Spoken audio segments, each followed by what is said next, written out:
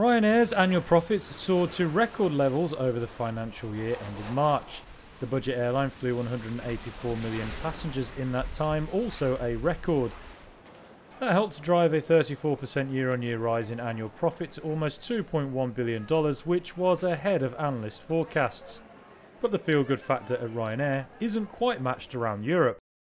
CEO Michael O'Leary said Monday there's a recessionary feel around the continent. He said it could be a factor in slower than expected growth in airfares.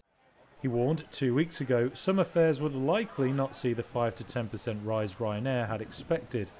The carrier said its new forecast of flat to modest yearly peak summer price growth was heavily dependent on last minute summer bookings. The Irish airline also said it would be 23 jets short of the number Boeing was due to deliver by the end of July, though it said Boeing was now delivering planes with a bit more consistency. Looking ahead, Ryanair said it was too early to provide sensible after tax profit guidance for the current financial year.